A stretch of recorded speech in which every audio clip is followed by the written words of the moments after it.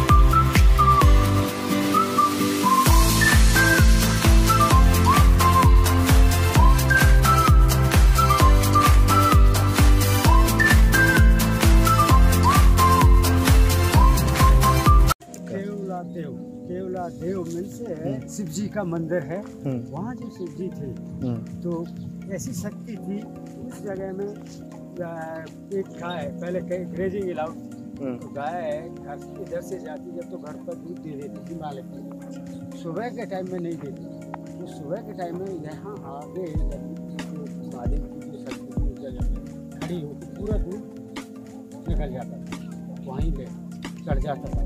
तो फिर भरत महाराज खबर पहुँचाया है तो उन्होंने सामने ऑर्डर दिया। इस जगह पर खोद देने को क्या खोदा तो ये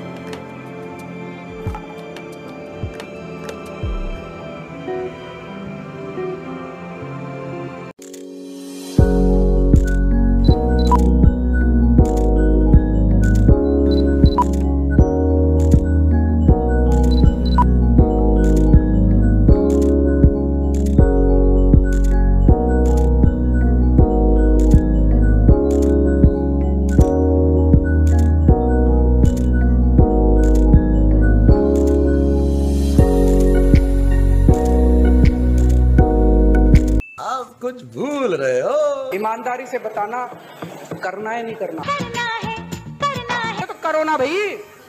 क्यों नहीं कर रहे? अच्छी बात बोली। आपको अच्छी लगी। तो ऐसे थोड़ा मार दीजिए हाथ आप। थोड़ा सा मार दीजिए। क्यों कष्ट हो रहा है आपको? अगर अच्छी लगी मार दीजिए।